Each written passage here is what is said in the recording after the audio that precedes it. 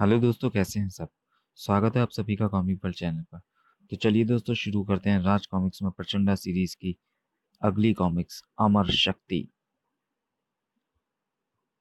वायु, जिसके दम पर कायम है सारा संसार और उसमें रहने वाले प्राणी।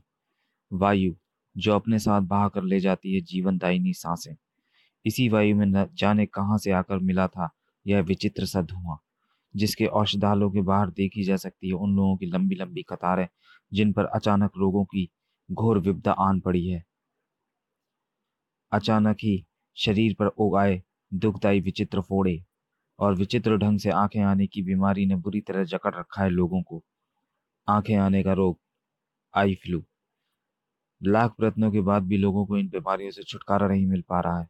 परिणाम स्वरूप विचित्र फोड़ों की वजह से सैकड़ों लोग मृत्यु को प्राप्त हो चुके हैं। और हज़ारों अंधे हो चुके हैं आँखों के विचित्र रोगों की वजह से। हाय मेरी आँखें। हाय ये हाल सिर्फ़ घोड़ा पछाड़ नगर का ही नहीं आसपास के सैकड़ों राज्यों की प्रजा इन विचित्र रोगों से पीड़ित है। भरसक प्रयासों के बाद भी कोई भी नहीं सोच पाया इन बीमारियों से निपटने का कोई कारगर उपाय। लेकिन आज घोड़ा पछाड़ नगर में। आ, आप आप सच कह रहे हैं ना महात्मन? हाँ वत्स हमारे पास एक ऐसी औषधि है जो तुम्हें पल भर में ही भला चंगा कर सकती है। अगर ऐसा है, महात्मा तो दीजिए हमें औषधि कीजिए हमारे अति दुखदायी कष्टों का निवारण। अच्छा वत्स, कहकर उस महात्मा ने अपने थैले से कुछ शीशियाँ निकालकर लोगों की तरफ़ उछाल दी। ये लो। भूखे गिद्धों की तरह झपट पड़े लोग उन शीशियों पर। मुझे मुझे लेने दो। हट जाओ, मुझे लेने दो। पीछे हट ओए पहलवान। फन्ने खां को शीशी नहीं मिली तो किसी को नहीं मिलेगी। टुकुर टुकुर देखते रह गए जिनके यहाँ शीशी नहीं लगी और उन, जिनके यहाँ शीशी लगी वे गटक गए। वे तो पूरी की पूरी शीशी देखते ही देखते हो गया चमत्कार। अरे, मेरे फोड़े गायब। मेरी आँखें ठीक हो गई। हा हा, हम चंगे हो गए। ये सब इन महात्मा का प्रताप। अरे, महात्मा जी कहाँ गए? अभी तो यहीं थे। कहाँ चले गए? ढूंढो उन्हें। वही हमें चंगा कर सकते हैं। और ज़ोर शोर से महात्मा की खोज शुरू हो गई। हवा के उड़न खटोले पर सवार होकर महाराज ढक्का सिंह तक पहुँची, ये सूचना। वे महात्मा हमें ही क्या पूरे संसार को चंगा कर सकते हैं? ढूंढो उन्हें, ऐसे जैसे भूसे के ढेर में सुई ढूंढी जाती है। महात्मा को खोजने का हुक्म दंदना दिया उन्होंने भी। प्रजा के साथ राज्य के सैनिक भी जुड़ गए उस महात्मा की खोज में।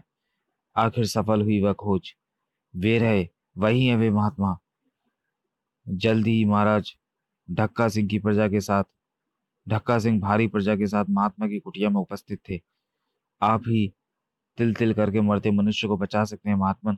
हमें अपनी चमत्कारी औषधि देकर कृतज्ञ कीजिए। गंभीर स्वर में बोले महात्मा, मैं तुम्हें वह औषधि देने में असमर्थ हूँ, राजन, क्योंकि मेरे पास वह औषधि बहुत ही कम मात्रा में थी और जितनी वह औषधि मेरे पास थी, उतनी मैं लोगों को दे चुका हूँ। यह ठीक है, महात्मन, की वह औषधि आपके पास से समाप्त हो गई है, लेकिन आप उसे जहाँ से लाए थे, वह स्थान तो आप जान वह स्थान तो जानते ही होंगे आप। हमें उस स्थान के बारे में बताइए, हम उस औषधि को वहाँ से प्राप्त कर लेंगे। मस्तक पर बल पड़ गए महात्मा के। उस औषधि को पाने का ख्याल छोड़ दो राजन। जहाँ वो औषधि पाई जाती है, वहाँ साधारण मनुष्य हरगिज नहीं पहुँच सकता, क्योंकि भयंकरता की हर प्रकाष्ठा से भयंकर और खतरों की हर सीमा से बढ़कर खतरनाक है वह स्थान। वहाँ तो सिर्फ़ वही पहुँच सकता है जिसके हृदय में पाव शेर का तिल हो, जो मृत्यु की क्रूर आँखों में झाँक कर भी विचलित नहीं हो, जिसकी भुजाओं में मृत्यु के जबड़े को तोड़ देने का असीम बल हो। क्या ला सकते हो ऐसा शुरू ऐसा महाबली? किसी के बोलने से पहले बोल पड़े राजकुमार ढीड़ और ढिल्लर हम ला सकते हैं, ऐसा पराक्रमी। हम जानते हैं कि, हम जानते हैं उसे, नाम है उसका। प्रचंडा प्रचंडा, बचाओ। हा हा हा हा हा। फकीर सिंह नाम, फकीर सिंह नाम है मेरा। एकदम सही समय पर शिकार पर निकला हूँ, क्योंकि तुम सबको किसी रहस्यमय बीमारी ने ग्रस्त, इसलिए तुम अपने आप बचकर तो भाग सकते नहीं, और कोई तुम्हें बचाने आ सकता नहीं। बचाओ बचाओ, क्योंकि फफेड़ सिंह से तुम्हें जो भी बचाने आएगा फफेड़ सिंह, उसे कच्चा ही चबा जाएगा। हा हा हा हा हा। तभी उन्हें चबाने के लिए फौलाद के तार चाहिए दुष्ट, जो तुम जैसे का नाश करने के लिए स्वयं को फौलाद बनाए घूमते हैं। प्रचंडा प्रचंडा आ गया। अब खैर नहीं इसकी। विद्युत से भी अधिक फुर्तीला निकला फफेड़ सिंह। अब इस चूहे की खैर नहीं, क्योंकि मैंने इसे भून कर तंदूरी आदमी बनाकर खाने की सोच ली है। बस प्रचंडा पर एक ही बार करने में सफल हो पाया फफेड़ सिंह, क्योंकि अगले ही पल प्रचंडा के इशारे पर धरती से उठा मिट्टी के कड़ों से बना एक हाथ जो घन सा पड़ा फफेड़ सिंह पर। आओ! हाथों में आ गई उसकी बत्ती सी। हाय मेरे प्यारे प्यारे दांत। पलटा वह क्रोध से भभकता हुआ अपने पंजों से फाड़ डालूँगा मैं तुझे प्रचंडा। दौड़ा वो प्रचंडा की तरफ़ कि तभी। अरे भड़ाक से औंधे मुँह गिरा वह फिर प्रचंडा ने नहीं दिया उसे संभलने का कोई भी क्षण। फफेड़ सिंह को ज़मीन में घुसेड़ करी माना प्रचंडा। तुम जैसे बोझ को धरती पर रहने का कोई अधिकार नहीं। आ! फिर रहस्यमय रोगों से पीड़ित मनुष्यों की तरह पलटा प्रचंडा। जाने कैसी रहस्यमय बीमारी है। लाख इलाज कराने के बाद भी छुटकारा नहीं मिलता इससे। काश मैं इन रोग पीड़ितों के लिए कुछ कर सकता। कुछ? क्या बहुत कुछ कर सकते हो तुम इनके लिए? मित्र प्रचंडा। और इसलिए तुम्हें खोजते हुए यहाँ आ पहुँचे हैं हम।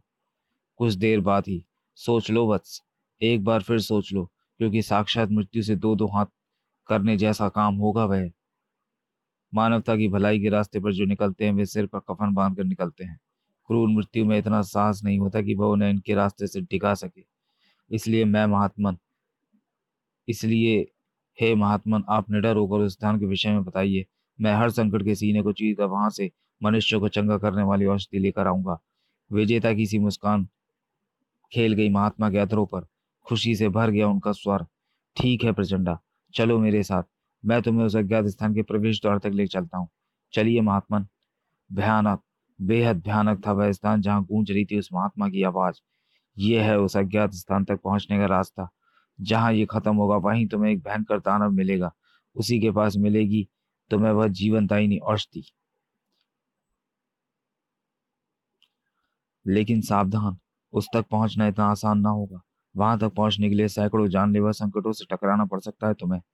अब तुम जाओ। चलने से पहले रुका प्रचंडा और महात्मा से पूछा। उसने बहुत देर तक अपने मस्तिष्क में उथल पुथल मचाते उन प्रश्नों को। आपको ये सब कैसे पता चला? और फिर जब उस औषधि तक पहुँचना इतना कठिन है तो आप उस तक कैसे पहुँच गए? कैसे प्राप्त कर लिया आपने वो औषधि? मुस्कुराए और बेहद शांत स्वर में बोले, महात्मा, हम दिव्य पुरुष है वत्स कहीं भी पहुँच जाना और कहीं कुछ भी प्राप्त कर लेना हमारे बाएँ हाथ का खेल है। काट दी महात्मा ने प्रचंडा की बात। यह समय संवाद करने का नहीं है, बस, बल्कि कुछ करने का है।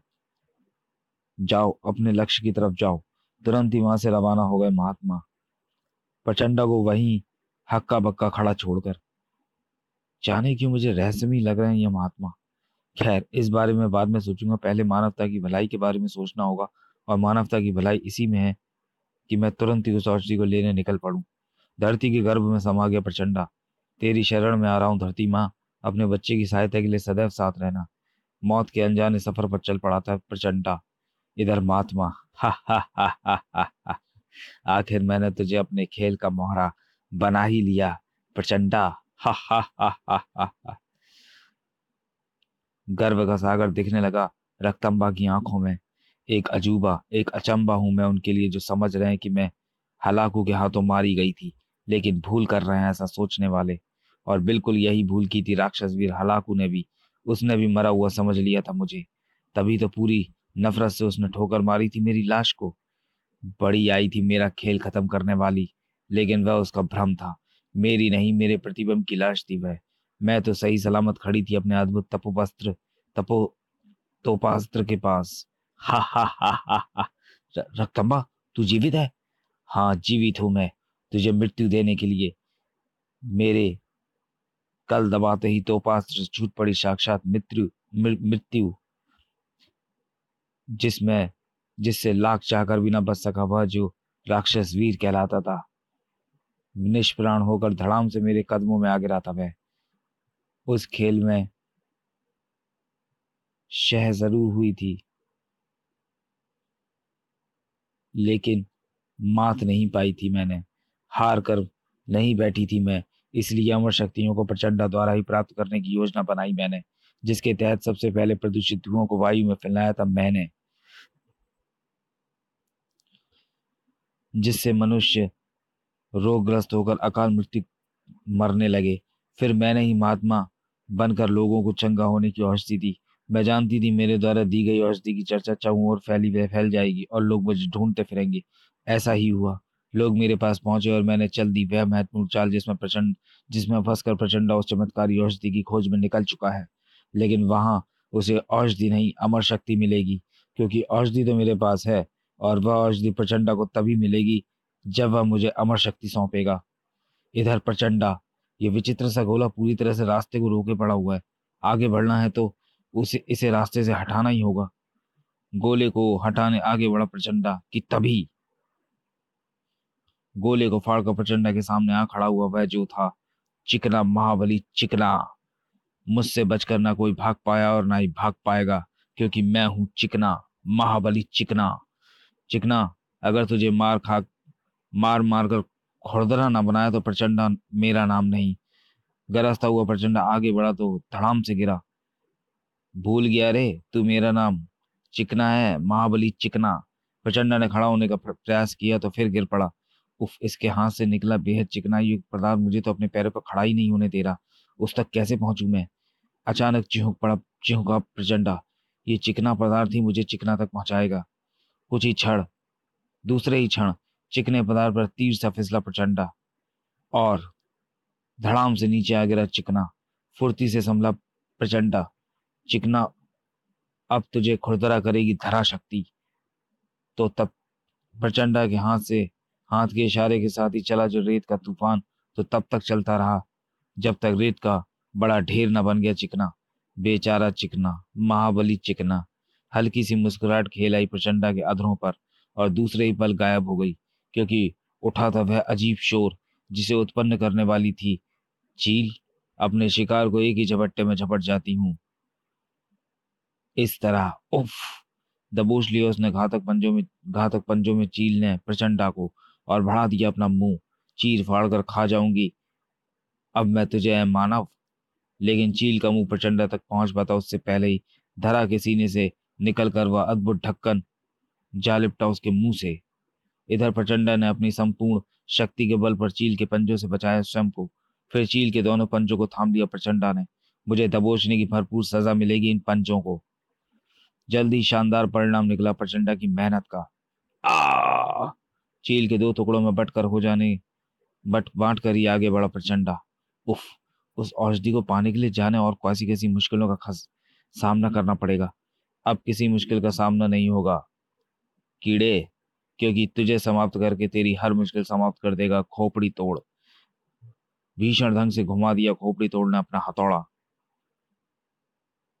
बच बच्चे, बच, लेकिन तेरी खोपड़ी तोड़े बगैर नहीं मानूँगा मैं। इससे निपटने के लिए मुझे भी पर्याप्त, मुझे भी प्राप्त करना होगा कोई हथियार।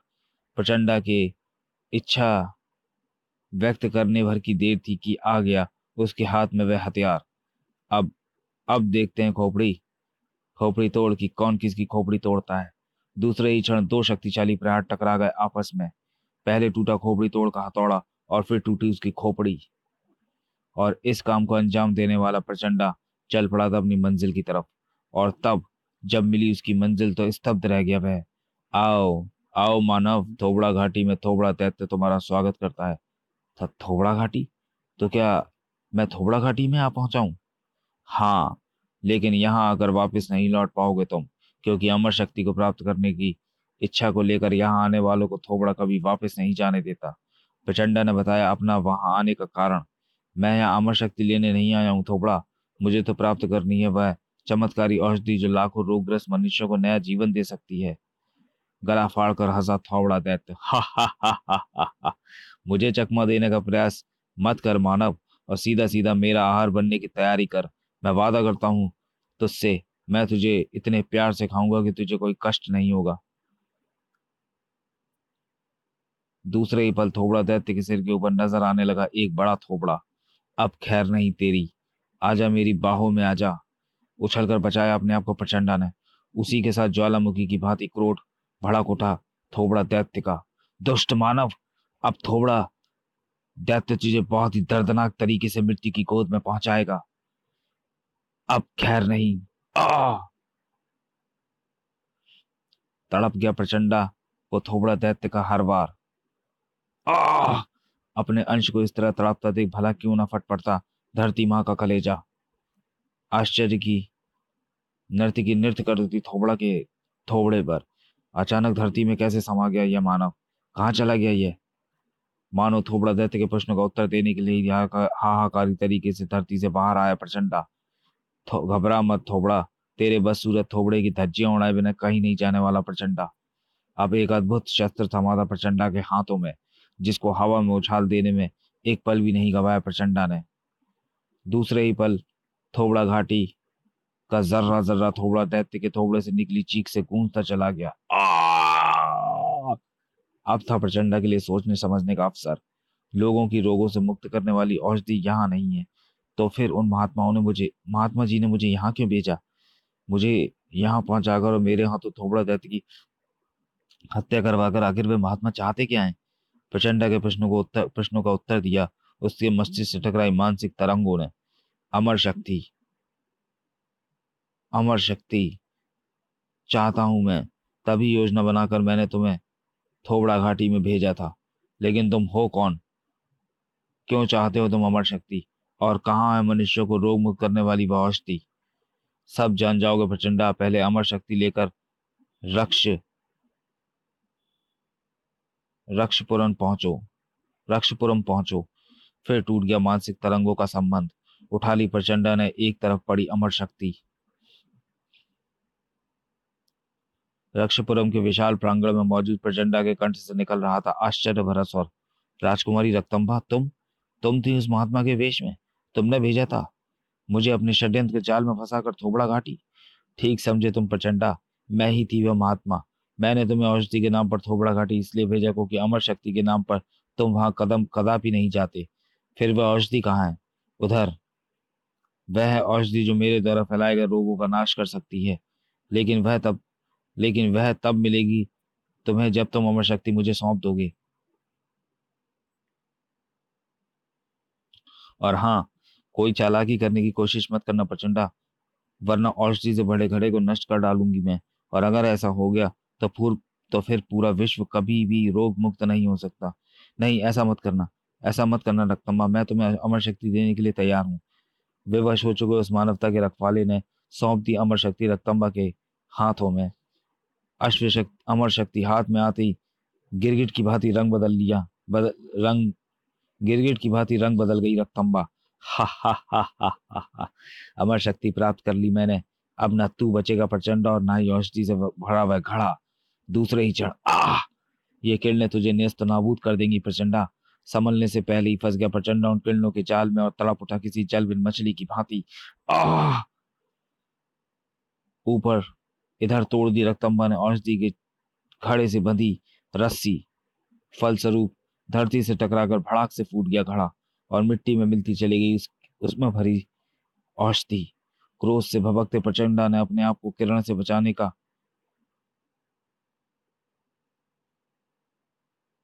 बचाने का किया। वह उपाय, किरणों की इस रस्सी का छोर पकड़कर इसे अपने से अलग करना होगा। और या या, प्रचंडा के आज़ाद होते था किरणों की बौछार सी कर दी। उस पर रक्तम्बा ने रक्तम्बा के हाथों मिट्टी को प्राप्त होकर ही रहेगा तू प्रचंडा। उफ, इसके वारों को संभालना मुश्किल हो रहा है। इसे रोकने के लिए क्या मुझे स्त्री जाति पर हाथ उठाने जैसा जघन्य पाप करना होगा? किसी निर्णय पर पहुँच पाता प्रचंड और उससे पहले ही। धरती माता? उसकी आँखों के सामने प्रकट हुई। धरती माता? हाँ पुत्र, तुम्हें स्त्री जाति पर हाथ उठाने का पाप ना करना पड़े, इसलिए हमें आना पड़ा। और अपने साथ लाना पड़ा चट्टानों को। चट्टानी को। यह उस दुष्टा को भरपूर सबक सिखाएगी। उसी पर रक्तम्बा ने किरणों की बारिश सी कर दी। लेकिन चट्टानी ने शानदार तरीके से नष्ट किया उन किरणों को। सिर्फ़ बचाव करके ही कहाँ चुप रह गई चट्टानी? चट्टानी का, चट्टानों का तूफ़ान सा चला दिया उसने तो। लड़खड़ाई रक्तम्बा और ऐसी लड़खड़ाई की फिर ना संभल सकी। संभलती भी तो कैसे वह चट्टानी, संभलती भी तो कैसे वह चट्टानी ने उसे संभलने का मौका ही कहाँ दिया था? अपना काम समाप्त करके धरती में समा गई चट्टानी। प्रचंडा ने दिया धन्यवाद अपनी धरती माँ को। खुशी इस बात की है माता की आपकी सहायता से एक पापिन का अंत हुआ, लेकिन दुख इस बात का है कि आपके सीने से टकरा कर फूट गया। वह औषधि से भरा घड़ा और नष्ट हो गई, उसमें भरी हुई सारी औषधि जो लाखों मनुष्य को जीवन दान दे सकती थी। मुस्कुराकर बोली, धरती माँ, सभी माओ की तरह मैं भी अपने पुत्र को दुखी नहीं दे सकती, इसलिए मैं तुम्हें वापस लौटा रही हूँ, तुम्हारी प्रसन्नता। भौचक्का रह गया प्रचंडा। जीवनदायी औषधि से भरा कलश?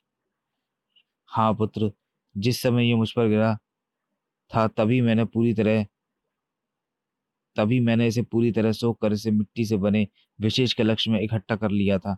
मैं जानती थी, मेरे पुत्र की खोई प्रसन्नता लौटाने के लिए मुझे इसकी आवश्यकता पड़ेगी। किसी अबोध बालक से अपनी धरती माँ से लिपट गया प्रचंडा।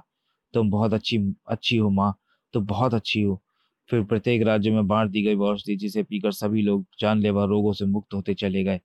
सभी के मुख से एक ही आशीर्वाद निकल रहा था प्रचंडा के लिए। ईश्वर करे प्रचंडा, तू हज़ारों वर्ष जिए। मेरी भी आयु तुम्हें लग जाए अमनुष्यता के रक्षक। चाँद सितारों से लंबी आयु पाए तो प्रचंडा। समाप्त।